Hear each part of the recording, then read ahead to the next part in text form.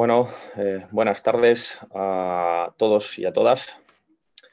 Eh, bienvenidos eh, a, pues a, esta masterclass que, organiza ISET, que tiene que ver sobre el insomnio.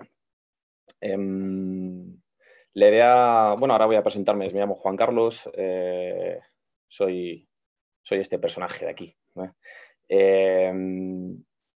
Una cosilla con respecto a, cómo voy a estructurar la, masterclass. Em, tengo que pensado dar bastante información eh, porque es un tema, yo creo que, bueno, todos los que estáis ahora mismo conectados y viéndome, obviamente tenéis, eh, a lo mejor no preocupación, pero alguna vez habéis padecido seguramente insomnio o tenéis problemas para dormir o algún familiar cercano y seguramente tengáis preguntas o dudas que hacerme. Eh, el momento para, hacerlas va a ser al final de la, charla, de la masterclass. ¿vale? Voy a estar aproximadamente una hora eh, hablando. Eh, cuando finalice, vosotros vais a poder, mientras tanto, hacer las preguntas por el chat que creáis convenientes, pero solamente cuando acabe, cuando acabe la masterclass em, pues me van a llegar esas, eh, yo no voy a cerrar esto, me van a llegar esas preguntas y durante 15, 15 minutos más o menos pues voy a responder eh, a las más significativas, a las que crea más conveniente, ¿vale? Em, entonces no, no, os vayáis después de que yo, de que yo termine, por así decirlo, eh, porque hay esos cinco minutos en los que yo tengo que ver las preguntas y luego contestaré, ¿vale? os lo volveré a recordar de todas maneras cuando, cuando vaya avanzando un poquito más, más la clase. Em, bueno, pues me llamo Juan Carlos, soy, bueno, me licencié en biología, em, me gradué también en, naturopatía, medicina china. Actualmente me tiene absorbida la mente y el alma la alquimia vegetal y la espagiria. Y bueno, pues eh, trabajo como guía de campo, dando salidas, identificación de plantas medicinales. Eh, fui guía en el Jardín Botánico de Madrid, en el Jardín Botánico durante siete años. Y bueno, trabajo de profe dentro del equipo docente eh, del plan curricular de, naturopatía eh, de, de, ISET. ¿vale? Y, bueno, pues dos fotillos que, me identifican o me identifico yo con ellas, vaya, y, bueno, sin más, pues vamos a hablar de, del insomnio, ¿no? Eh, ¿Por qué elegí hablar del insomnio? ¿Será por temas a tratar? Bueno, pues yo creo que, y más con la que ha estado cayendo estos últimos meses, em, que más que menos pues ha tenido dificultades para dormir. Y de hecho, bueno, pues eh, básicamente la mitad de la población, el 50% de la población, eh, va a tener o ha tenido o padecerá insomnio en algún momento de su vida. ¿vale? Es uno de los síntomas más frecuentes em, con los cuales una persona puede ir a consulta eh, por detrás del dolor. ¿vale? Y hay ciertos perfiles donde Em, bueno, es más em, fácil que padezcan eh, este tipo de sintomatología o, alteración del sueño que, va a ser los, bueno, las personas ancianas o, las mujeres posmenopáusicas eh, derivadas bueno, pues de un cambio del hormonal. ¿no? Pero no está nadie exento de padecerlo, me da igual que sea niño, adolescente, joven, eh, de 20, 20 la raza y, em, y del sexo. Eh, ¿A qué llamamos insomnio? Bueno, pues, eh, pues, es una incapacidad para conciliar el sueño. Eh, puede que ocurran o que haya un aumento de los despertares nocturnos, puede que, te levantes demasiado pronto o puede que el sueño no sea suficiente, que te levantes con la sensación de estar cansado y agotado. ¿vale? cualquiera de estos datos o de estas síntomas o pistas podríamos pensar que, estamos padeciendo lo que se llama insomnio. El impulso que tenemos para dormir es muy fuerte, eh, es eh, casi más fuerte que el que tenemos para, mm, comer. Estamos diseñados y preparados para descansar, necesitamos descansar, eh, desconectar de alguna manera para que nuestro cuerpo se recargue. todo el mundo entiende que el móvil, por ejemplo, que nos tiene absorbido tanto la cabeza, o cualquier aparato, un ordenador, la televisión, para que esté a pleno rendimiento, necesita unos periodos de recarga de batería por así decirlo, lo tienes que enchufar eh, para, conseguir, como digo, pues eh, una, eficiencia eh, mm, alta. Pues nosotros nos ocurre exactamente lo mismo, y no solamente a nosotros como humanos, sino todos los seres vivos de este planeta, pues tienen sus periodos de descanso y sus periodos de activación.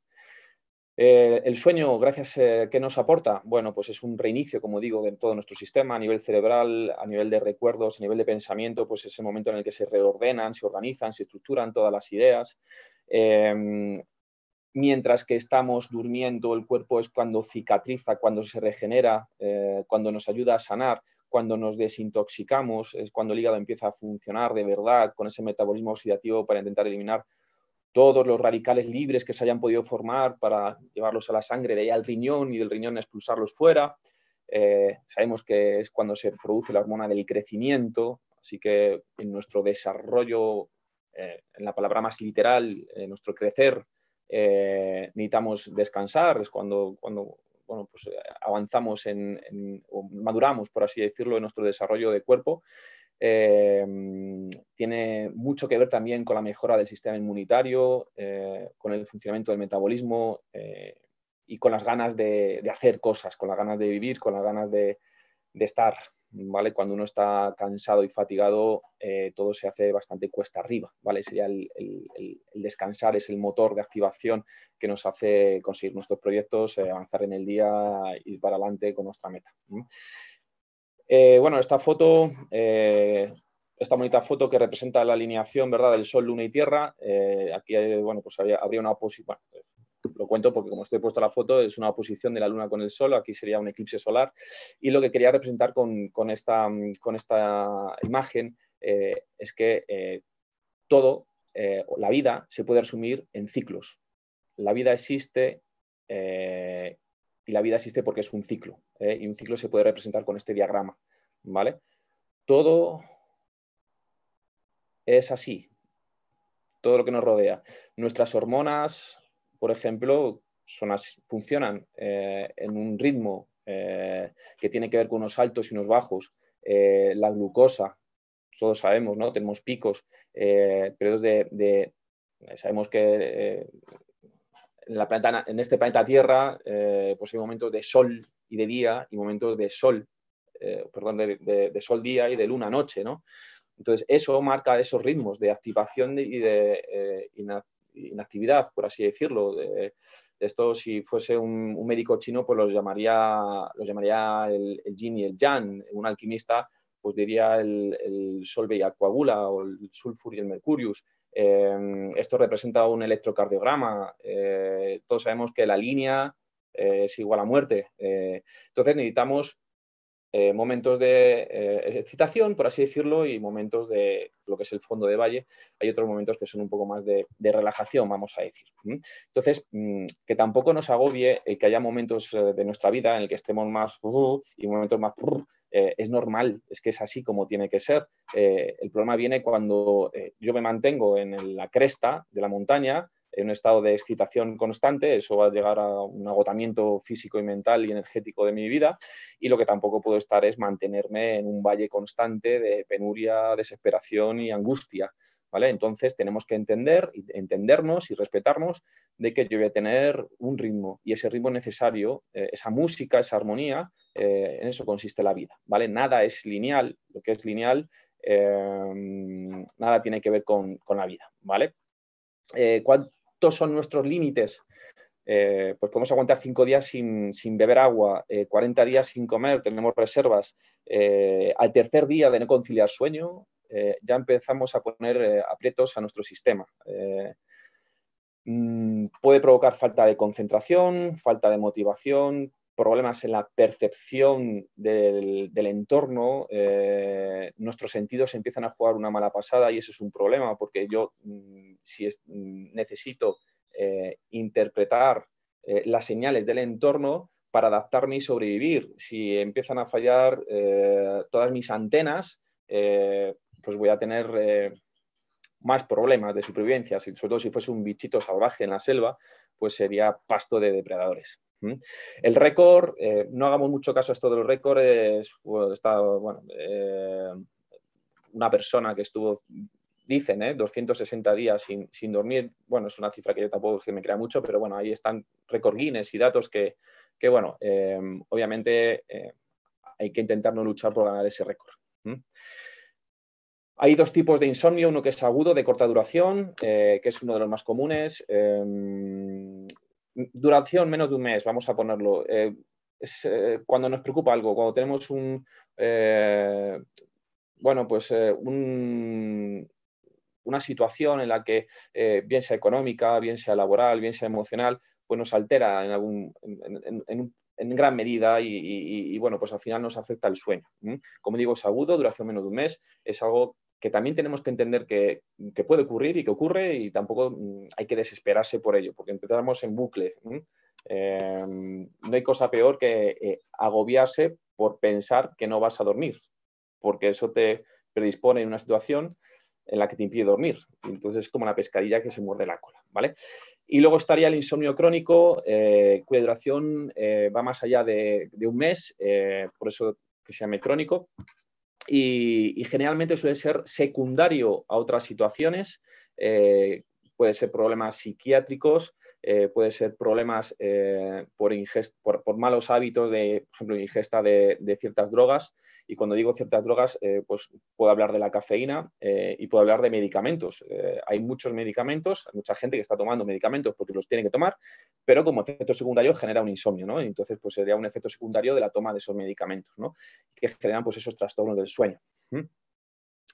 ¿Quién puede padecer? ¿Quiénes son los candidatos? Bueno, pues personas que sean sensibles al estrés, que de alguna manera Em, tengan el umbral bajito y con nada que haya algo que se les se escapa de la normalidad, eh, de su suelo, eh, de su estabilidad, pues les altera y, les genera ese estado de, quizás de ansiedad. ¿no? Eh, bueno, personas que tengan problemas emocionales, donde haya problema, problema de dinero, personas que tengan cambios frecuentes de horario, gente que viaje mucho, que coger aviones o que tenga em, horarios de trabajo alternos, que trabaje de día, trabaje de noche, eso es, lo, es fatal para, el, ritmo eh, al que le gusta. ¿eh? Hablamos de ritmo, pero un ritmo, ese ritmo tiene que tener una continuidad. Eh, no puede tener altibajos, ni para arriba y luego para abajo, luego a la izquierda y luego a la derecha. ¿vale? una cosa es que tenga movimiento y otra cosa es que ese movimiento no sea armonioso.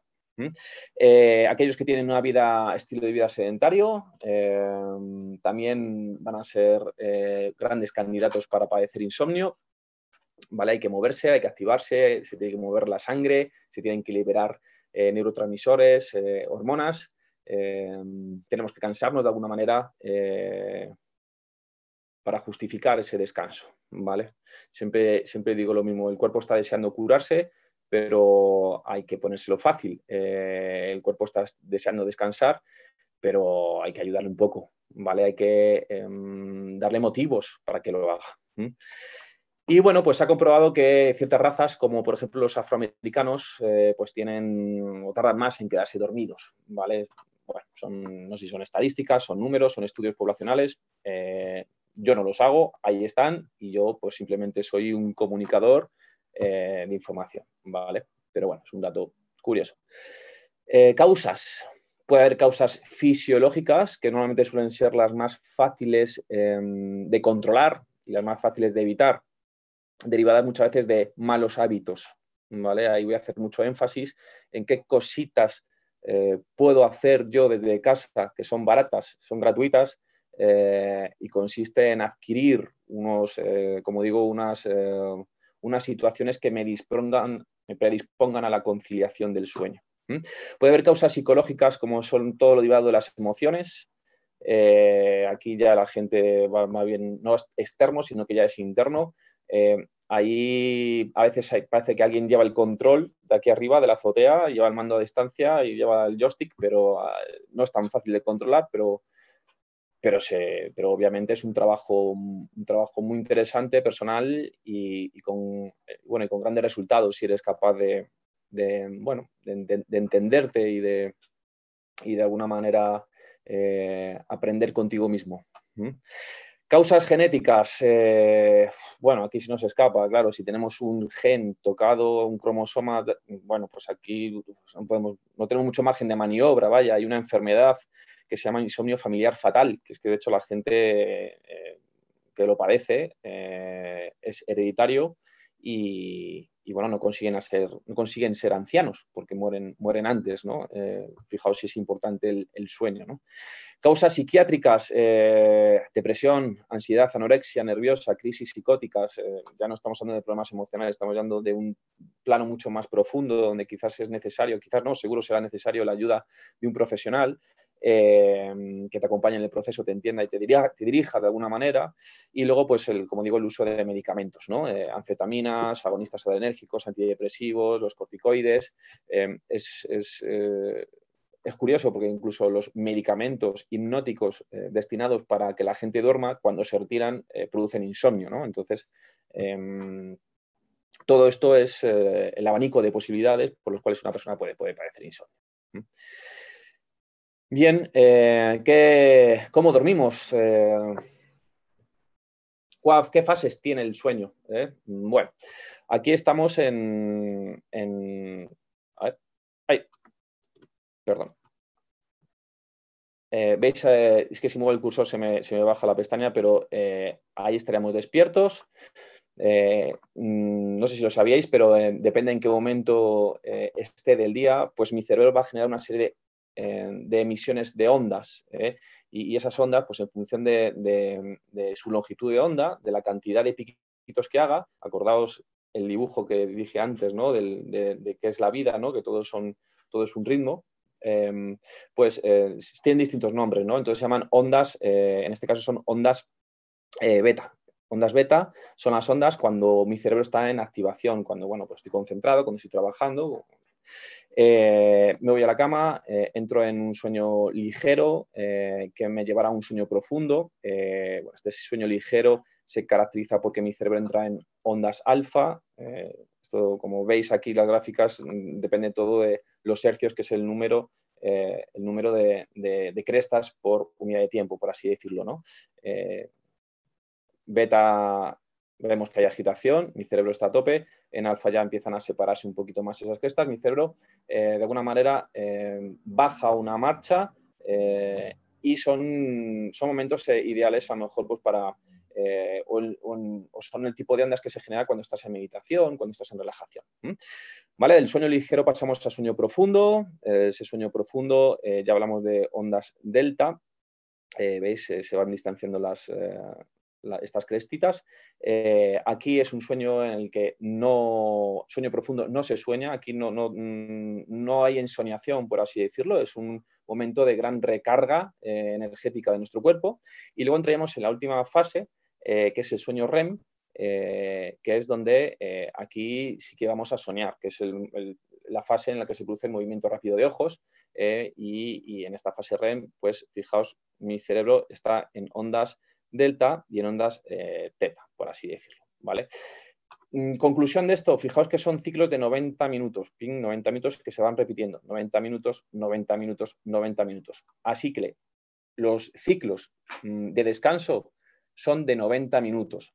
Por eso nos dicen que tenemos que dormir en torno a 7, 8 horas para poder conseguir mínimo cuatro ciclos de 90 minutos. Si os fijáis, la fase REM de cada ciclo va aumentando. En el primer ciclo de 90 minutos dura 5 minutos, en el segundo ciclo de, 90 mm, minutos dura 10 minutos, 15, y en el cuarto eh, sería 30, 60 minutos. De la misma manera, el sueño profundo eh, va disminuyendo.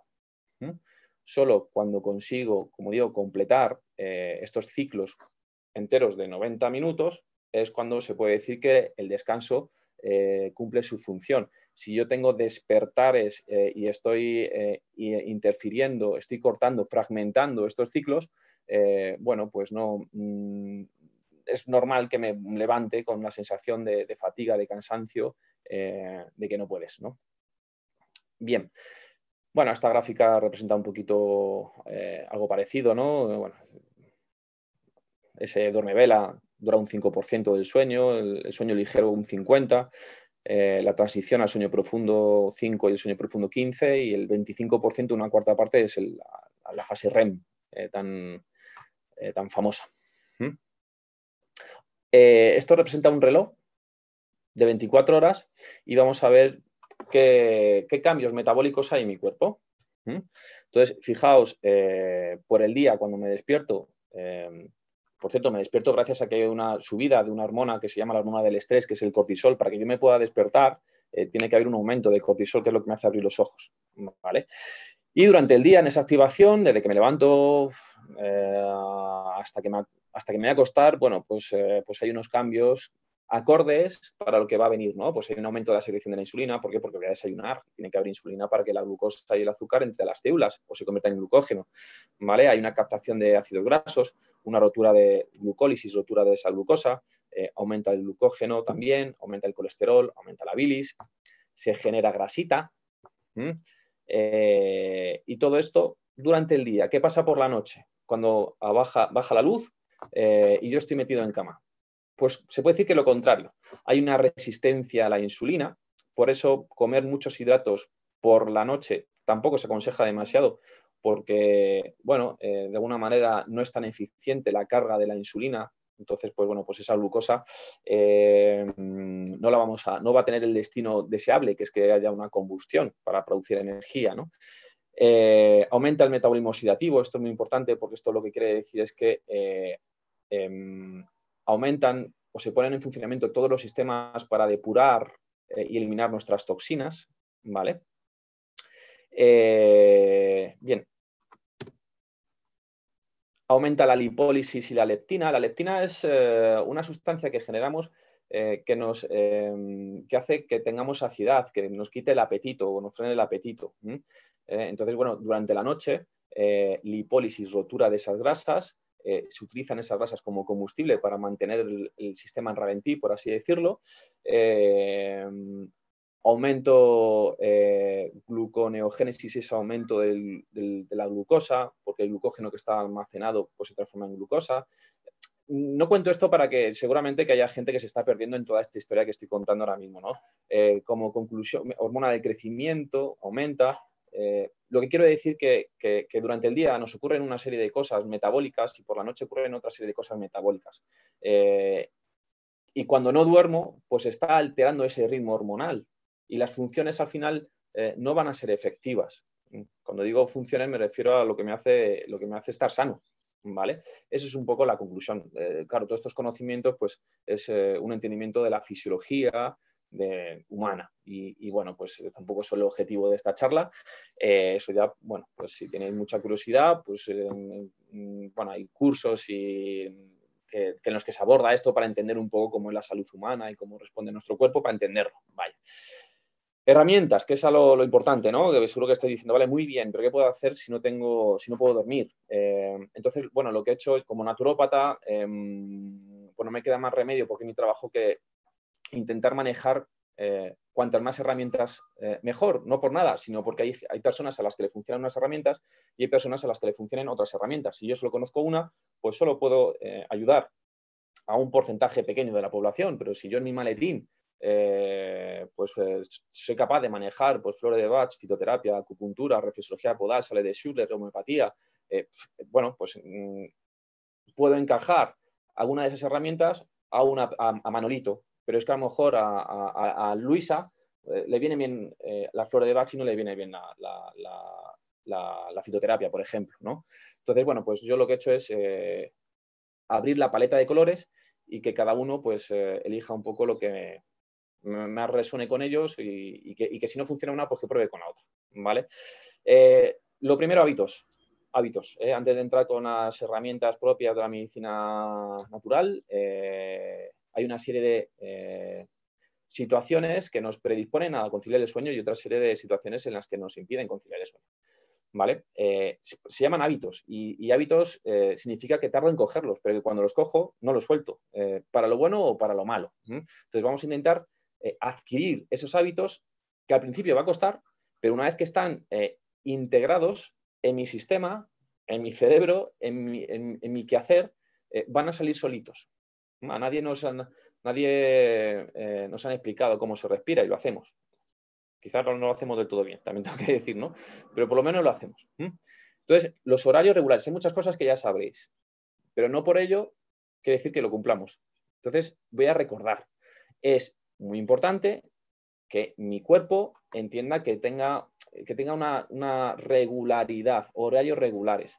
y, eso, pues que cada uno lo ajuste a su, trabajo, a sus, a, sus, madrugones eh, y a sus ritmos particulares, ¿vale? Em, no voy a decir, oye, hay que acostarse a las 10, hay que levantarse a las 7 de la mañana. Pues depende, cada uno tendrá su vida. Pero lo que sí que podemos hacer es regularizar eso eh, y que se convierta en un hábito, ¿vale? No un día a la 1 de la madrugada, otro día me levanto a las 10 de la mañana, otro día me levanto a las 7 de la mañana y, me acuesto a las 8 de la tarde y cuando llega eh, eso pone patas arriba eh, y mi cuerpo al final no se va a enterar, es como si fuese un jet lag. Permanecer en la cama entre 7 y 8 horas, no más. Está comprobado que cuanto más horas pasas en la cama sin dormir, luego te cuesta dormir. ¿Vale? Entonces, eh, la cama está para lo que es, descanso.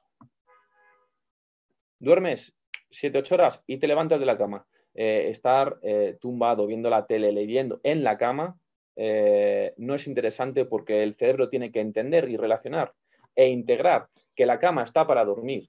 Si yo hago una serie de actividades en la cama que no es dormir, ¿cómo voy a pretender luego que el cerebro sepa que ahora tiene que dormir? cuando otra vez está comiendo y otra vez ha estado viendo Netflix y otra vez ha estado leyendo una novela.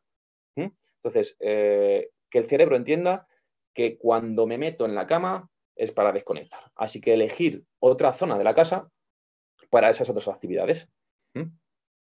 El ejercicio. Eh, luego, cada persona es un mundo. ¿eh? Yo voy a contar un poco así, pues lo que abarca a casi todo el mundo, por así decirlo. El ejercicio es importante, pero cuidado, el ejercicio activa. El ejercicio activa el sistema nervioso. Yo cuando hago una actividad física eh, voy a generar eh, adrenalina, ¿vale? Y voy a generar un poquito de cortisol. Y voy a generar eh, dopamina y endorfinas. Claro, si yo hago ejercicio una hora antes de meterme a la cama, va a ser muy complicado que mi sistema nervioso esté relajado porque va a estar activado. ¿vale? Entonces, ¿hay que hacer deporte? Sí, pero o bien por la mañana o eh, por lo menos que haya con, luz solar. Importante con luz solar, que no se junte en mi, metabolismo la noche con actividad física, ¿vale? Puedo estar luego cansado físicamente y me te tumbas y dices, ¡uh, qué cansado estaba! No quiere decir que la cabeza también lo esté. ¿vale? Y creo que ya sabéis a lo que me estoy refiriendo. Puedes estar muy cansado físicamente, pero como la cabeza está agitada, el sistema nervioso está agitado, eh, tu cabeza va a ser como un mono que va a ir de rama en rama y cuando te quieras dar cuenta, has pasado, eh, bueno, eh, por todo tipo de posibilidades pasadas y futuras, ¿vale? Se aconseja no hacer ejercicio por lo menos en las tres últimas horas antes de irse a dormir, ¿vale? Las siestas. Eh, gran cantidad de médicos aconseja echarse la siesta. Eh, hay, bueno, resultados fisiológicos, hay eh, hechos, evidencias de que la siesta típica española después de la comida, pues tiene sus ventajas, pero ojito porque aquí, aquí puede que, la duración, lo que es una ventaja se convierta en una desventaja media horita, 20 minutos, lo que ese letargo que te entra de cuando la sangre va de la cabeza un poco al estómago, que te entra un, eh, bueno, te quedas un poquito ahí eh, en dormevela, como decía antes, ¿no? Pero, mm, pero que no sean siestas de, bajo la persiana, me rezo un Padre Nuestro y me pongo el pijama y me chupo dos horas de, de siesta. ahí estamos alterando la curva normal, ¿vale? Tenemos que dormir como mamíferos, como la evolución nos ha dicho, tenemos que dormir de noche. Eh, claro, la, ingesta de sustancias estimulantes, pues la nicotina, el alcohol, eh, la cafeína, la teína. Hay gente que bebe mucho té por no beber café, pero no se da cuenta que la teína y la cafeína básicamente es lo mismo, eh, por no decir que es la misma molécula. bueno, pues separarlo también, que a partir de las 5 de la tarde no ingrese o disminuir la toma de estas sustancias. Cenar ligerito, no llenarse la tripa en la cena. Eh, que las condiciones ambientales sean las apropiadas. Em, en cuanto a temperatura, no tiene sentido que en verano tengamos frío dentro de la casa eh, y que en invierno tengamos calor dentro de casa. pero sabéis que cada vez es más común, ¿no? Por las calefacciones generales, centrales de los edificios, los aires acondicionados y todo este tipo de cosas. Eh, fijaos, es que eh, hacemos las cosas muy mal. O sea, no tiene sentido ir abrigado en verano y muchas veces y estar en tirantes en invierno. ¿eh? Fijaos, como, para no volver loco luego nuestro cuerpo. Cuando nuestros sensores detectan por cambios de luminosidad y cuando voy a la calle detectan una situación y cuando de repente me meto en casa es una situación completamente distinta, ¿no? Entonces pues, volvemos locos un poquito. Por no digo que pasemos calor ni frío, pero que no se nos vaya de la sensatez, ¿vale? Eh, cordura un poco en todo esto. Temperatura óptima alrededor de 18 grados se considera que es una temperatura óptima para poder dormir. ¿eh? por encima de 23, 24 se llaman noches tropicales y eso, bueno, pues, eh, pues no, no, no, tu cuerpo no descansa, tienes esa sensación de calor, ¿vale? Y por debajo de 18, por lo que tienes esa sensación de frío.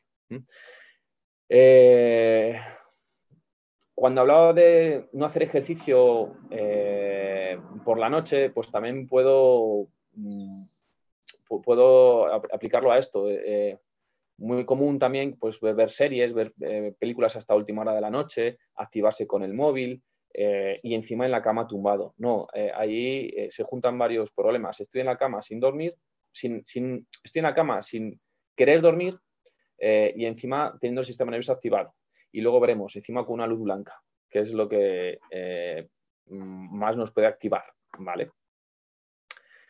Voy con esto de las luces. Eh, ojito con el color o con el tono de la luz. Una luz blanca, eh, una luz fría, eh, activa y una luz cálida relaja.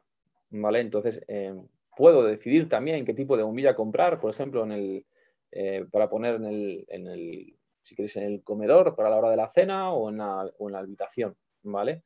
esto tiene una explicación muy sencilla a través de la historia mm, del hombre en la Tierra hemos visto cómo los uh, atardeceres tienen unos colores cálidos, rojizos y naranjas. Esto es el color eh, que avisa a la, glándula, pineal, que es una glandulita que está aquí dentro, para que genere una sustancia, eh, se llama melatonina, para que nos ayuda y es la que nos, eh, induce al sueño, ¿vale? y, los patrones del rojo y del naranja inducen a, la fabricación de esa melatonina. Y una pantalla de un móvil, eh, una pantalla de un ordenador, una pantalla de una televisión, una luz fría de la bombilla, eh, interfiere en esa producción de melatonina. Así que algo tan tonto como la elección de una bombilla, eh, ¿vale? El atardecer nos invita a dormir, pues imitar las condiciones del atardecer en vuestra casa. Me he saltado aquí una eh, que aparecía por aquí Garfield. Eh, sí, bueno, pues eh, los preparativos, ¿no? pues esa, rutina, esa rutina diaria, ¿no? pues que te vas a poner el pijama, que te lava los dientes, que el hilo dental, no sé, que cada uno coja una rutina muy importante. Cuando el cerebro al cerebro le encantan las rutinas, ¿vale? Y como sabe que una lleva a otra y es a la siguiente, pues si A me lleva a B, B me lleva a C y C me lleva a D, que es dormir, eh, cada vez que empieza a hacer A, el cerebro ya sabe que luego viene B, viene C y viene D, que es dormir. Entonces, mantener un poquito esa serie, eh, que lo solemos hacer nuevamente, los, los, humanos solemos ser muy, muy, de, costumbres muchas veces, ¿no? Pues, pues en estos casos pues es, bueno tenerla. Em, estoy dando mucha información y, más que voy a dar, ¿vale? Eh, seguramente me vaya algo más de la hora tranquilizaros, yo no sé cuánta gente está detrás de la pantalla, eh, yo solo me veo yo y las cortinas que tengo delante, pero como esto está en YouTube, eh, no os agobiéis, no quiero que estéis ahí eh, apuntando desesperadamente cada palabra que digo, porque vais a perder un poco la esencia de la charla. Entonces ahora lo único que mi objetivo es que me escuchéis, que entendáis lo que os estoy contando y luego ya, como esto va a quedar en YouTube, tranquilamente eh, podéis mm, ver y visualizar tantas veces como queráis para ir tomando notas o apuntes o, lo que queráis, ¿vale? Yo como, consejo, llevo toda la vida estudiando y, y bueno, los, eh, los, hábitos de estudio eh, son, son, importantes, ¿no? charla que entre por los oídos y que entre en la cabeza, ¿vale? Luego sí, luego ya eh, lo reflejamos y lo, de alguna manera em, lo fijamos mediante la escritura. Bien, hemos hablado de los colores, y una cosa está clara, cuando, cuando tú no puedes dormir es porque, porque no estás en el presente, eh, estás en el pasado o en el futuro. En el pasado porque algo te, algo te sucedió y estás dándole vueltas a esa conversación que tenías que haber dicho, a eso que te ha ocurrido, eh, a una injusticia, entonces tú no estás aquí, tú estás en lo que fue, que ya no existe. O puede que sea, que sea lo contrario, que estés en el futuro y te estés preocupando, preocupando de algo que tampoco existe. El pasado no existe porque ya no está y el futuro nunca estuvo. Eh, y nos anticipamos y es cuando entra la ansiedad. ¿vale? La depresión suele ser una consecuencia de un bloqueo del tiempo pasado, la ansiedad suele ser una consecuencia del bloqueo del tiempo futuro. ¿vale? Es un, problema de anticipación. Entonces, eh, de manera posible tenéis que separar o romper eh, ese viaje del tiempo, eh, nada provechoso, y centraos en el estoy aquí, estoy ahora, ¿vale? Eso es muy fácil de decir eh, y es más difícil de hacer. trucos, a veces, estos son estrategias de programación neurolingüística. bueno, como olvidarme del pasado a veces es difícil y, y el pasado a veces es desagradable, de hecho, estamos diseñados para recordar lo malo del pasado, no lo bueno. Eh, porque si yo recuerdo lo malo del pasado y le doy más importancia, eh, de alguna manera mi cerebro entiende que, al darle más peso a, lo malo que me pasó, tengo más opciones de sobrevivir en el futuro. Eh, pero es que el cerebro se pone muy pesado en, dar demasiada importancia a eso malo, ¿no? y ya sabemos que, el cerebro es nuestro gran, nuestro gran tesoro evolutivo, eh, pero a veces nos juega malas pasadas. Entonces, el cerebro se pone muy pesado, muy, muy pesado en recordar y en, poner énfasis en lo desagradable. Pero cuidado que nos estamos olvidando que, también está la parte positiva, pero mm, tengo que esforzarme y obligar al cerebro a que la vea, como cambiar las gafas. Está, pero no, el cerebro no la ve y entonces entro en el RQR ¿eh? Eh, en todo lo desagradable. Bueno, pues hacer un redecor a tu vida, ¿vale? Que llega por la noche eh, y en ese hace una especie de repaso de ese día, no del mes pasado, de ese día. En, oye, qué cositas me ha aportado, ¿no? incluso intentar sacar de situaciones desagradables, pues qué cosas positivas hay, que las hay seguro. Lo único que hay que hacer es encontrarlas y verlas. Encontrarlas y verlas, ¿vale? Em, fijaos, eh, hay que hacer que mm, del excremento, del estiércol, eh, convertirlo en abono para que salgan flores. Y esa es una metáfora de la vida muy bonita, ¿vale? Tú puedes ver el excremento o puedes ver abono. Tú eliges cómo lo quieres ver.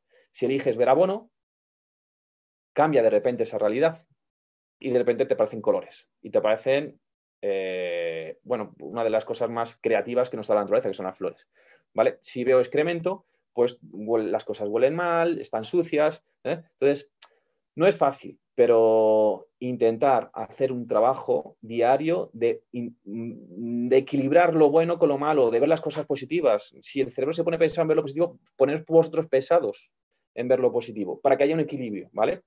Así que un repasito. Eh, y luego unos ejercicios de respiración. Eh, haces ese, ese repaso estás en la cama, eh, es muy importante la respiración en el diafragma, entonces, bueno, aquí aconsejo que se pongan las manos encima del abdomen y en la inhalación, en la toma de aire, bueno, pues tienes que ver cómo las manos suben y cómo bajan. Cinco, seis, siete respiraciones. Eh, la cosa es conseguir, como digo, unos hábitos. En esas respiraciones, concéntrate simplemente en respirar. Piensa en respirar, ¿vale? Que no te preocupe el resto de las cosas. Eh, al principio cuesta, cuando se convierte luego en un hábito, sale solo. Y el conjunto de todas estas cosas hace que entres eh, de forma placentera en el descanso sin darte cuenta. ¿Mm? Si no consigues dormir, eh, no mires el reloj. No mires el reloj porque si tú miras el reloj ya estás diciendo, madre mía, que ya son las 3 de la mañana y no he dormido eh, y al rato suena el bing. Bueno, quitar las pilas de todos los relojes que anuncien las horas. ¿Por qué no ayuda? ¿Vale? Casi es mejor que mm, padezcas el insomnio la ignorancia, de si son las dos o son las tres o son las cuatro, ¿vale? El hecho de que te agobie el no dormir hace que no te duermas. Entonces, esos avisadores de horas, fuera. Y el reloj que fuera. Da igual el tiempo que tardes, eh, lo que sea, pero no mires la hora del reloj, no ayuda en absoluto. Y si, oye, que, no, que no, que no puedo dormir, sal de la cama, sal de la cama y vete al sillón, vete al salón, ponte a leer, eh, no te pongan luz fría, eh, haz algo, una, algo, de actividad eh, leve, suave, ponte musiquita, una lectura, mm, algo. Sal de la cama y luego vuelve a entrar, ¿vale? No debemos asociar, o el cerebro no debe asociar, el estar en la cama y no dormir. Vale, eso es con respecto a, los hábitos. Bueno, vamos a ver desde la, desde la naturopatía, pues qué herramientas tenemos. La fitoterapia. Ah, no, primero suplementación. Bueno, eh, antes os he contado que la glándula pineal es la encargada para generar una serie de sustancias, que es la melatonina, que es una, una hormona eh, que cuando eh, se produce en el cerebro, cuando baja las horas de luz, solamente se activa en oscuridad, eh, pues nos induce a dormir. Y por el día baja la melatonina, sube el cortisol, que es lo que nos hace despertar. Claro, si el cortisol, hormona del estrés, si yo vivo, vivo en el estrés constantemente y tengo el cortisol por aquí, que me sale por las orejas, pues, pues claro, eh, la melatonina no puede, no puede equilibrar ese exceso de cortisol, ¿vale? Eh, ¿Existen productos? Sí, existe, te venden melatonina directamente y te venden el, precursor de la melatonina, que es el triptófano, algo que se llama 5-HTP, que es el precursor de la melatonina. Entonces, bueno, pues eh, Generalmente se suele aconsejar que en lugar de dar la sustancia final, pues demos eh, al cuerpo el precursor para que ese cuerpo fabrique la melatonina. Mm, porque lo que suele pasar normalmente que cuando le das una sustancia ya hecha y fabricada, el cuerpo se vuelve a veces un poquito vago y dice, caray, si me lo está dando de fuera, ¿para qué lo voy a fabricar yo? Eh, entonces, mm, deja de ser una ayuda eh, para convertirse en una condena. Y por supuesto, esto tiene que ver también con los eh, cuánto tiempo tengo que tomarlo. Pues ningún suplemento debía de tomarlo de forma crónica, porque entonces te conviertes en un junkie del suplemento, ¿vale? Suplemento para ayudar, empujar, ¡boom! Para que el cuerpo vuelva a hacer lo que tiene que hacer, porque sabe cómo hacerlo. Hay que ayudarle, pero no se lo des constantemente desde fuera. Si a una persona le das el plato de comida todos los días, pues a lo mejor dice, ¿para qué voy a trabajar? Si es que me está dando, me está llegando el dinero, me está llegando la comida, no tengo necesidad de hacerlo. Entonces somos vagos por naturaleza cuando hay falta de necesidad. Em, por cierto, repito y recuerdo que las preguntas las podéis, hacer en el chat. Eh, al final de la charla eh, me va a llegar un correo, chequearé, voy a seleccionar unas pocas porque voy a dar 15 minutos de preguntas, no más. Y, sí que os pido que no sean preguntas de casos particulares, ¿vale? De, pues, eh, ¿sabes a lo que me estoy refiriendo? Que sean preguntas, curiosidades o cosas que no se hayan quedado claras de la charla, ¿vale? Porque, yo soy naturópata eh, y una consulta eh, hacia una persona no se puede hacer por una pregunta en vía online en un minuto, porque no tiene sentido, o sea, no es perder el tiempo, ¿vale? entonces, bueno, pues eso, que intentar que no sean preguntas particulares de casos concretos de vuestro entorno familiar, ¿vale? Digo porque, porque tampoco cuando seleccione las preguntas no, van a ser esas las que voy a seleccionar. Entonces, bueno, pues no estemos eh, mareando la perdiz. Luego hay oligoelementos que funcionan bien. El magnesio, el manganeso, el fósforo, el litio. Eh, tienen que ver estos eh, oligoelementos con el, el, sistema nervioso para relajarlo. actúan para frenar el nerviosismo, controlan la ansiedad, bajan la intensidad de la depresión. Eh, impiden de alguna manera eh, esto del insomnio. ¿eh? sobre todo cuando hay problemas del sistema nervioso, como digo, ansiedad, depresión, ahí funciona muy bien el litio, ¿vale? igual, ¿y cuánto tomo de esto? ¿Y qué cantidad? ¿Y cuántos días? esas preguntas se escapan un poco de, este marco, ¿vale? De la masterclass. Eh, porque depende de los fabricantes, cada laboratorio tendrá sus productos y en función de los miligramos, pues te dirá que te tomes una o dos o tres y durante este tiempo. Eh, entonces, yo, como no lo fabrico, pues tampoco, o sea, no hay una ley que diga esto tiene que ser así, así, así. Consejo simplemente que los suplementos, cuando los toméis, pues tomarlos dos, tres semanitas y luego descansar de ellos. Y, lo retomamos si es necesario. Pero que no, se, que no, se, no os acostumbréis o que no acostumbréis al cuerpo a tener que, mm, mantenerlo de forma diaria, ¿vale? Eh, luego hay alimentos que tienen triptófano, que van a ser precursores de esa melatonina, que es la hormona del sueño, pues la soja, el queso, pistachos, cuidado, o sea, aquí no estoy hablando de nutrición, ¿eh? No estoy diciendo que sea la soja buenísima ni que sea y que haya que comer ostras, no, porque el tema de la nutrición da para 200 millones de masterclass y cada masterclass será distinta a la, anterior. Entonces, eh, aquí simplemente pongo una lista de qué alimentos tienen triptófano, sin más historias, ¿vale? Entonces, bueno, pues eh, de los que más, pues tiene la soja, ¿eh? almendras, los pistachos, el queso tiene, tiene bastante. Y, bueno, mm, las avellanas, el, aquí no lo pone, pero el chocolate también, bueno, una forma de, suplementarse, que es alimentarse. ¿no? De hecho, si tuviésemos una buena alimentación, no habría que suplementarse. Qué mejor suplemento que la propia alimentación. Fitoterapia, plantas medicinales. Eh, el campo es una farmacia. Eh, ahí tenemos la botica de verdad, eh, las plantas sagradas, plantas medicina. ¿Qué tenemos? Pues una serie de sedantes que van a ser suaves, como por ejemplo la melisa, el tilo, la hierba luisa, la verbena, la lavanda, el naranjo amargo, el espino albar, todas estas plantas, he seleccionado una serie de plantas que crecen en nuestros, ecosistemas, son plantas que podemos encontrar en, el campo, ¿vale? La mayoría de ellas eh, tienen su nombre latín, su nombre científico, eh, tenéis la suerte de no tener por qué saberlo, yo tuve la obligación de aprendérmelas y, me ha servido, ¿eh? Me ha servido porque luego el nombre, el nombre común cambia de un pueblo a otro pueblo, de una comarca a otra, ah, pero el nombre científico es aquí igual aquí que en la China. ¿eh? Entonces tú puedes comprar un producto de Dinamarca, que venga de Dinamarca, y están obligados a que ponga este nombrecito. Entonces, si tú controlas este vocabulario, pues sabes qué planta te está llegando. Si no, estás perdido. Y estas son las fotos de algunas de las plantas, que ya digo, no sé si las conocéis, me imagino que muchas sí, aunque sea de nombre. Y la parte, la parte de la planta utilizada, lo que se llama droga en fitoterapia, droga es la parte de la planta que se utiliza en fitoterapia, ¿vale? Entonces, en el caso de la melisa, que huele así a limoncillo, recuerda la buena, pues se utiliza la hoja.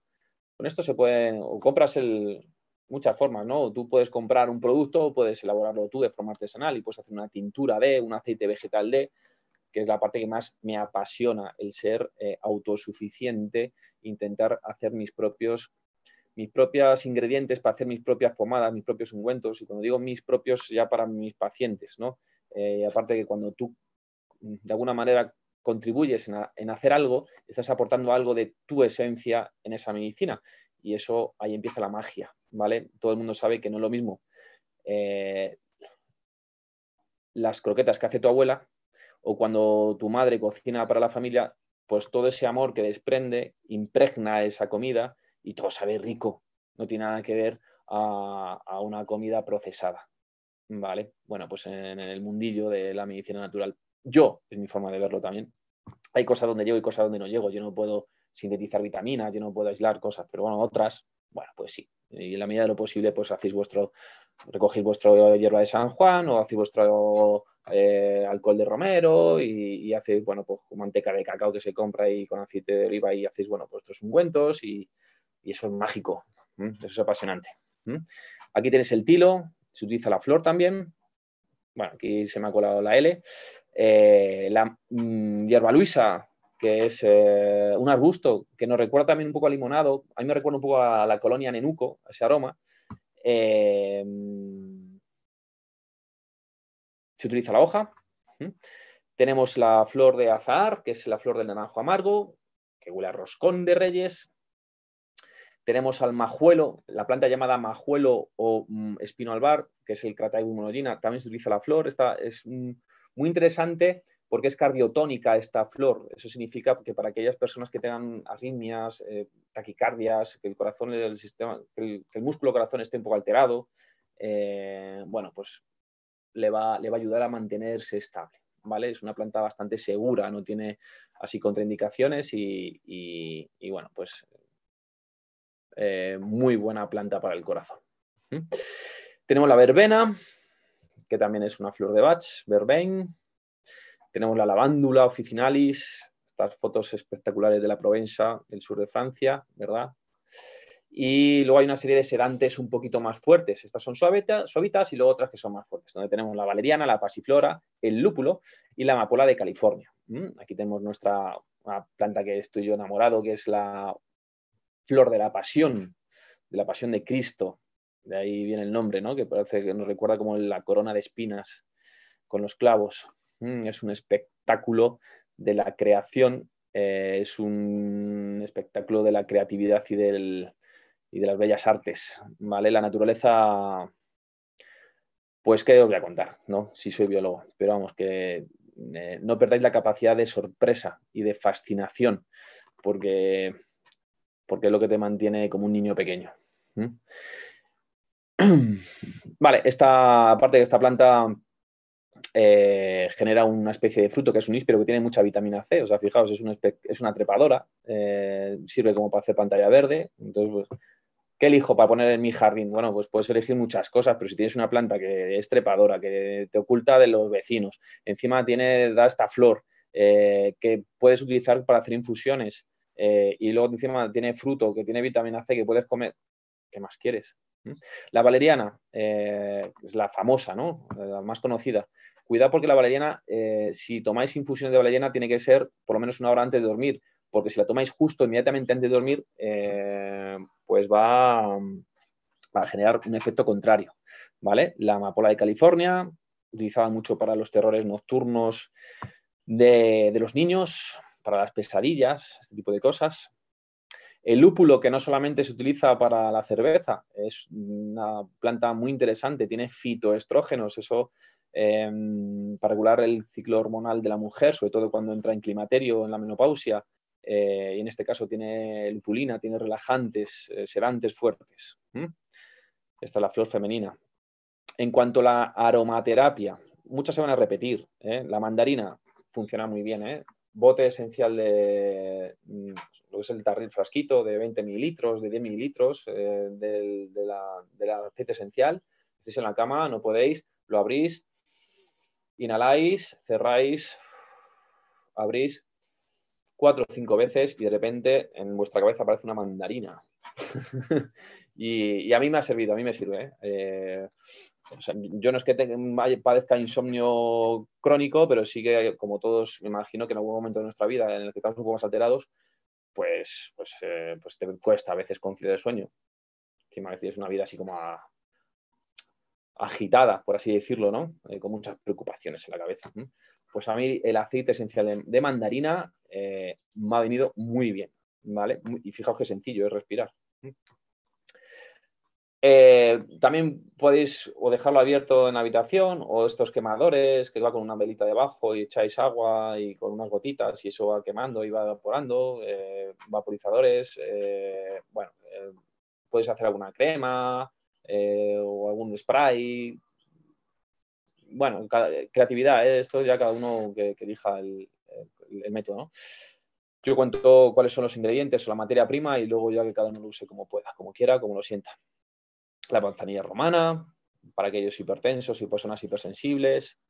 Estamos en aromaterapia. Eh, muy interesante además utilizar los aromas porque es el único sentido que va directamente al sistema límbico, que es la parte central de mi cerebro, que tiene que ver con las emociones y con la parte más atávica.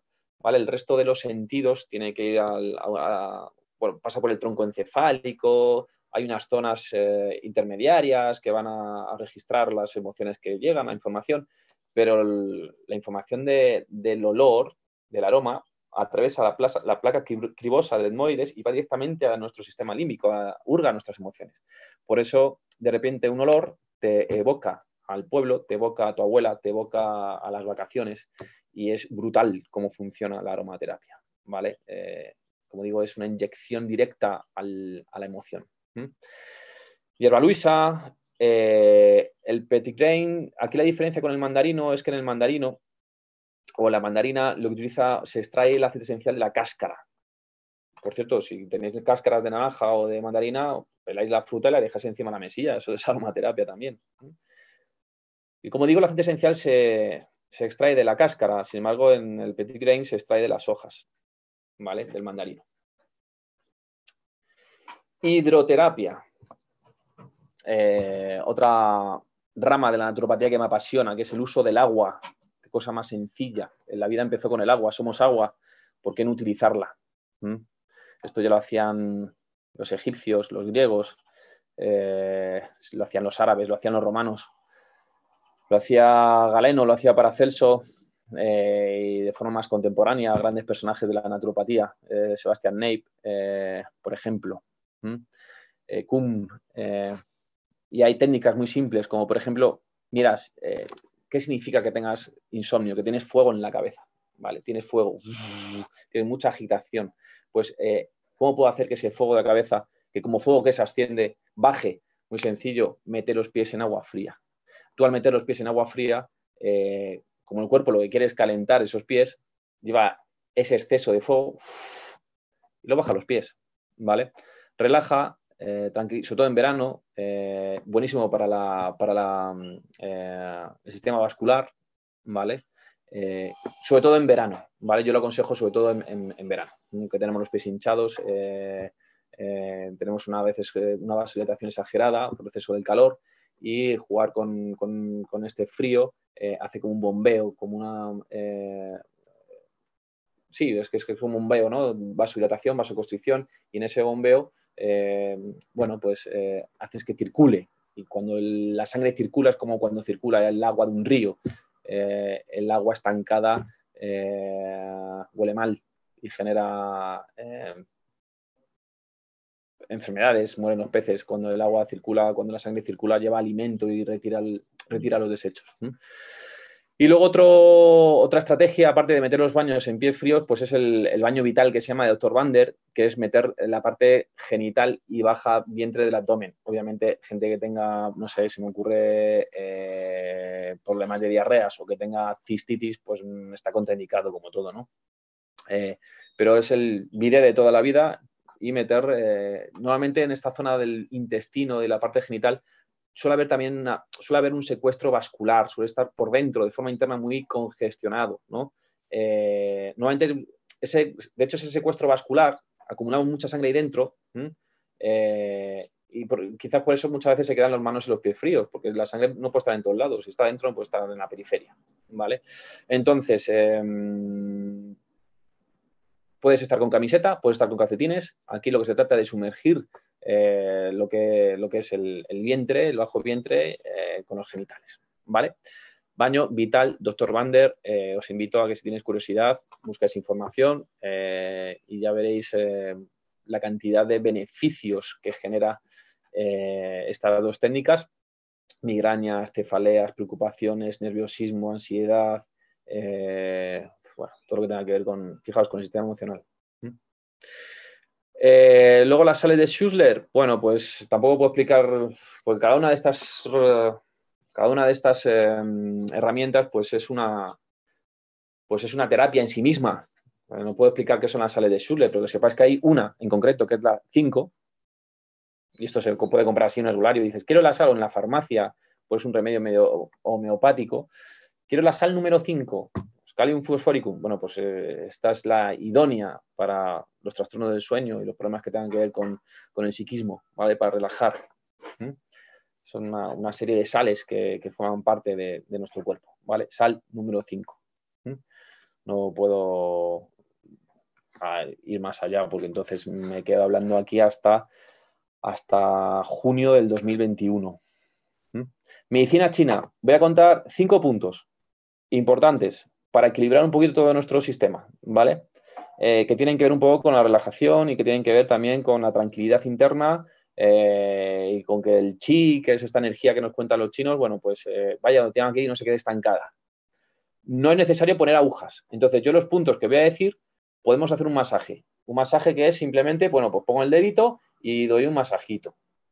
O puedo poner una semilla de pimienta con un espadadrapo. Ya está, estoy haciendo una acupresión o estoy haciendo una especie de eh, acupuntura. No es necesario la aguja, ¿vale? Cuento un poco dónde están los puntos. 20 de vaso gobernador. Estaría pues en la diadema, ¿eh? donde te pondrías la diadema en el centro del cráneo, justo aquí. Si imaginaos que saliese en vuestra línea vertical una cuerda, bueno, pues de ahí, 20 ¿eh? de vaso gobernador. Pongo el nombre, siempre va asociado a, bueno, esto tiene un nombre en chino, obviamente. Aquí lo hemos occidentalizado y hemos puesto eh, pues el nombre del meridiano, que es vaso gobernador, y el numerito, que corresponde al número del punto concreto de ese meridiano. Si tenéis más curiosidad de dónde está, cómo ubicarlo, fácil, tenéis el nombre, 20 de vaso ganador. Bueno, pues lo, lo, curiosáis por internet. Hoy en día anda que no hay información.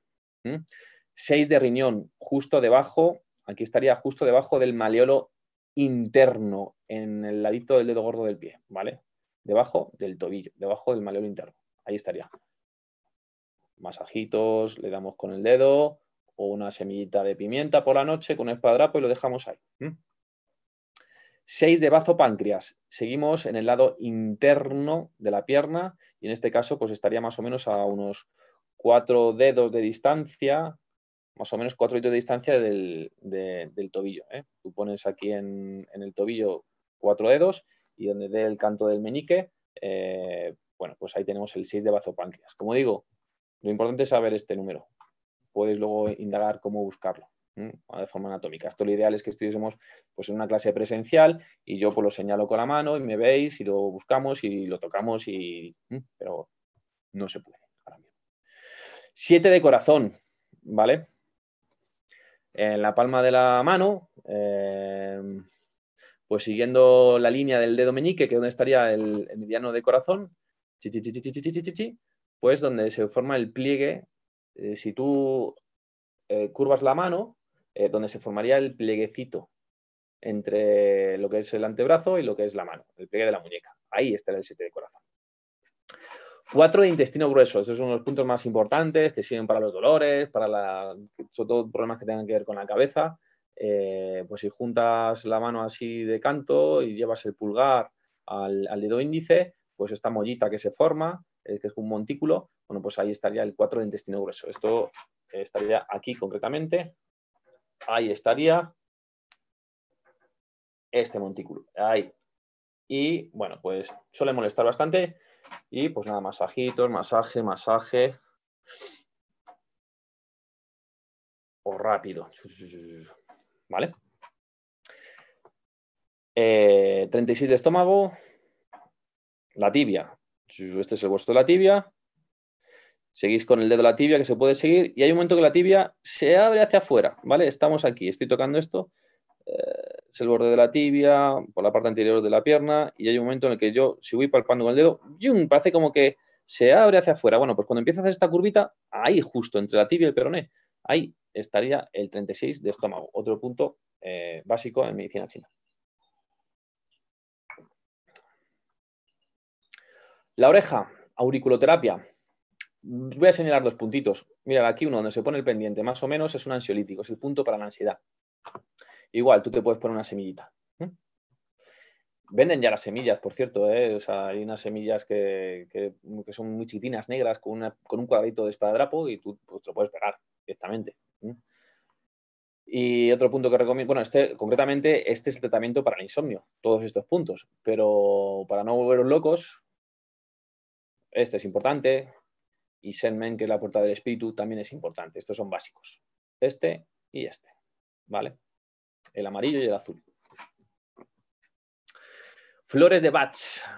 Otro gran mundo que descubrió el doctor Bach, la terapia floral. Bueno, si yo tengo pensamientos repetitivos, si en algo que voy a deciros dices, eso me pasa a mí, bueno, pues recurrir a esta flor. Es white chestnut, que es castaño de Indias, ¿vale? El castaño blanco la flor del castaño de. Cuando digo, cuando tenemos, entramos en bucle. Y venga, y te puedes quedar tres horas pensando lo mismo. Cuando estás en el futuro y te preocupa y estás preocupado, pues esta sería clematis. Y cuando es miedos, miedos a algo conocido, eh, miedo a perder el trabajo, miedo a no tener dinero, miedo a perder a un ser querido, miedo a algo, que tú puedes conocer, eh, no son entidades raras, eh, pues ahí estaríamos hablando del reino de Mimulus, ¿vale? White Chestnut, pensamientos repetidos, Clematis, cuando tú estás fuera, estás en el, futuro, y Mimulus cuando estamos con miedos, miedos conocidos. Y bueno, no me he pasado demasiado del tiempo, son las 6 y 5, mira, lo he hecho bastante bien.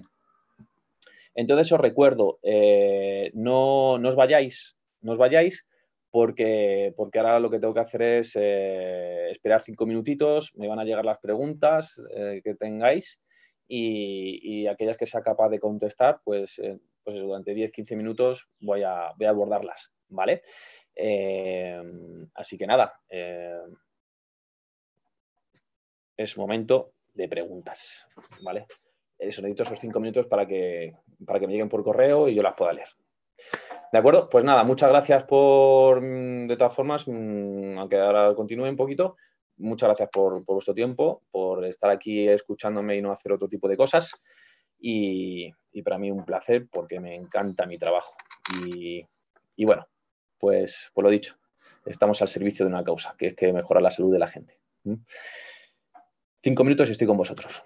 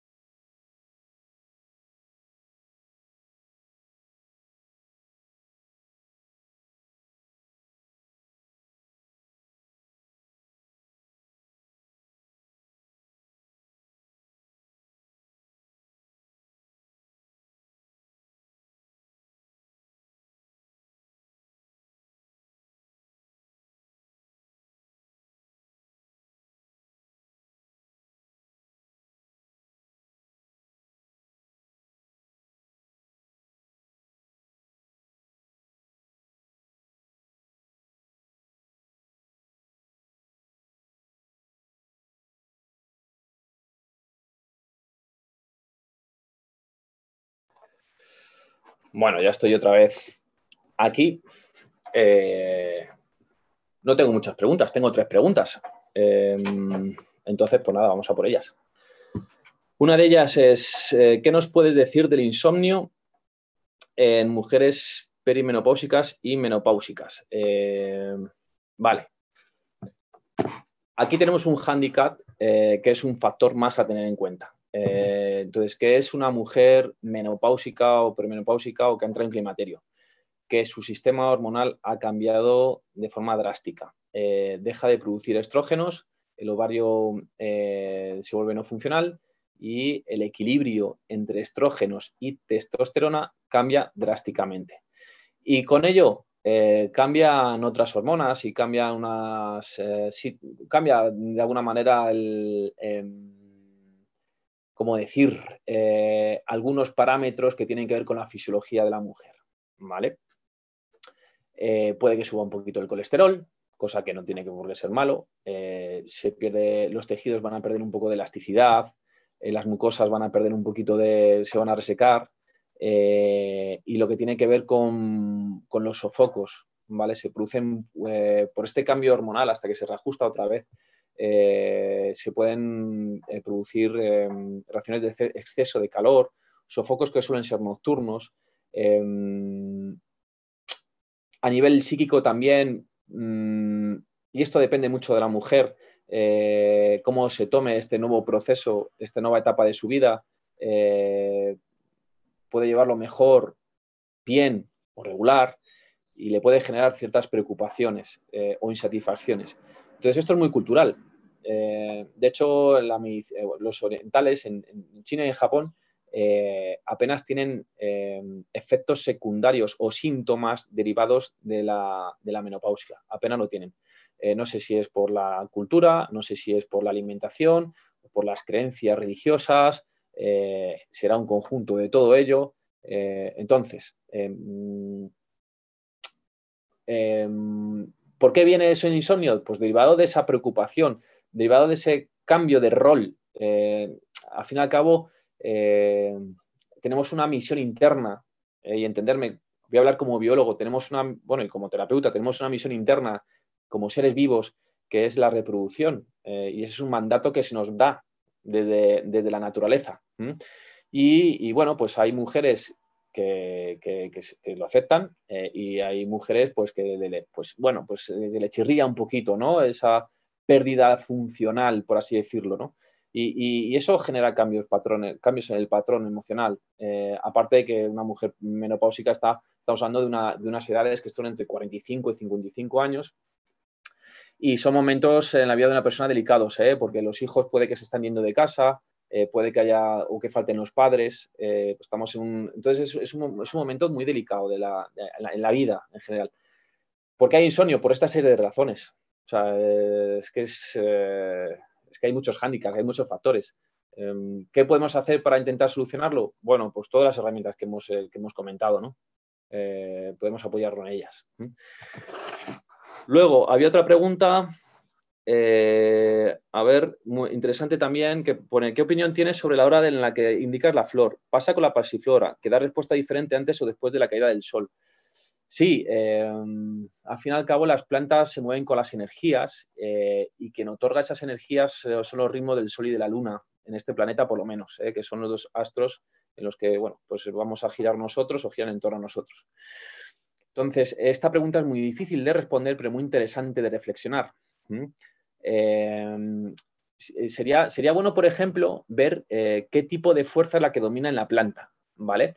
Es decir, si, yo veo, eh, si yo veo, por ejemplo, el, hipérico, la flor de San Juan, que si no sabéis cómo es, pues es una flor amarilla, pues me está indicando qué fuerza domina en ella, ¿vale? O por lo menos qué fuerza es más bien visible. Ahí vemos visible la fuerza del sol. Sin embargo, la flor de la pasión o la pasiflora, si nos acordamos de la, del aspecto que tiene, chin, chin, chin, chin, chin, pues el, yo el sol no lo veo por ningún lado. Mira, por, ejemplo, aquí vemos, aquí, vemos una, fuerza solar, ¿vale? Esto me está indicando que, el sol maneja las riendas del ritmo de esta planta. Sin embargo, yo aquí lo que estoy viendo es, estoy viendo a Luna y a Venus, Venus por la, bueno, por la armonía y por la belleza eh, y por la hermosura de la flor y, la luna por el color blanquecino. Estoy hablando de alquimia y de espagira vegetal, eh, entendiendo a los seres vivos eh, por la manifestación de sus fuerzas, ¿vale? no estoy hablando de, los, de astrología ni de los planetas, no, no, no todo lo que hay en este planeta al final se manifiesta en siete, en el, número siete, siete colores, siete notas musicales, y eso los antiguos lo dieron unos nombres, ¿eh? lo llamaron pues eh, Júpiter, Saturno, Mercurio, Venus, Tierra, Marte, ¿eh? pero porque veían planetas también, ¿vale? Pero es algo que está por encima de los planetas. ¿eh? Es, eh, a fin de cuentas lo que los ingredientes de lo que estamos hechos. Entonces, claro, si yo veo la flor de la, de la si veo una flor muy lunar, eh, pues quizás me está dando pistas que, su fuerza está más en el influjo de la luna. Y si veo una fuerza muy solar, pues a lo mejor me está dando pistas de que su influjo va a ser más en, el, en rangos solares. Son pistas, ¿vale? No son reglas ni son matemáticas. Em, y muchas veces, al final, lo que uno recurre, o yo por lo menos lo que recurro cuando, cuando hay cosas que se me escapan, porque ya interpretar esto es muy complicado, porque es interpretar un lenguaje oculto. A veces uno recurre a, la kinesiología o a la radiestesia, ¿vale? Con unas varillas de Zaurí o con unos péndulitos, en el, que, el cual, bueno, pues puedes hacer ciertas preguntas y, bueno, pues eh, eh, obtienes ciertas respuestas. Pero efectivamente em, eh, muy interesante sobre, sobre por qué una planta es como es, por qué tiene esa forma, por qué tiene el color y responde siempre a una fuerza dominante. Bueno, pues siempre que vamos a favor de esa fuerza, eh, todo eh, funcionará mejor. ¿vale? Y ya la última pregunta que tengo por aquí es, ¿qué opinas de las infusiones de supermercado para dormir y relajarse? Pues bueno, a ver, eh, habría que ver un poco qué infusiones son. Eh, habrá de todo, como en la botica, ¿no? Nunca mejor dicho. Em, en un principio, si la planta es la que es eh, y en el etiquetado no nos han engañado y bueno, pues tendrán su función, tendrán su función. Ah, va a ser igual esa función de ese sobrecito que te compras, que vete a saber dónde se hizo, dónde fue envasado, cómo se recolectó la planta, dónde fue recogida, con qué intención cuando digo con qué intención es con qué falta de intención, más que nada, no es que sea con malas intenciones, ¿no? Nadie va a recoger plantas con malas intenciones. Pero mm, va a funcionar, o sea, va a funcionar igual ese sobre que tomes de poliomenta o de manzanilla eh, de uso de producción industrial eh, que te tomas ahí. Eh, va a funcionar igual que si tú haces la recolecta de las plantas y te haces algún preparado o lo haces para alguien de tu entorno con todo tu amor, todo tu cariño, ¿va a funcionar igual? Absolutamente no, no tiene nada que ver. Pensar en el ejemplo que he puesto de la cocina.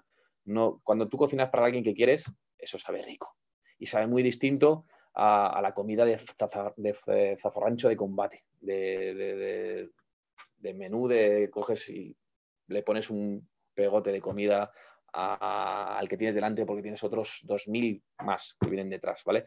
Entonces, eh, ¿que funcionen? Sí, la planta al final tiene su, al final tiene su, fuerza, pero, pero bueno, que, puede estar bastante disminuida. Yo, en la medida de lo posible, eh, y luego hay marcas y marcas, ¿eh? luego hay productos y productos, no lo mismo un supermercado, que no voy a decir ningún nombre, con a lo mejor una, una mm, marca comercial que tiene mucho cuidado en su política y mucho mimo a la hora de hacer sus productos. Entonces, eh, hay mucha variedad, ¿vale? Tenemos desde lo más flojillo, por así decirlo, a lo más potente, que es la, que haces tú. Siempre la que haces tú va a ser la más potente, ¿vale? Porque me vas a impregnar tu esencia. Y creo que no tengo creo que no tengo así más preguntas. Me habéis preguntado muy poco. Yo me esperaba aquí un batallón. ¿eh? Así que, mm, así que nada, repetir, dar las gracias eh, a los que estéis ahí detrás. Y, bueno, pues, eh, pues que, tengáis mucha suerte, alegría y salud. ¿Vale? Me retiro ya. Chao. Un saludo a todos.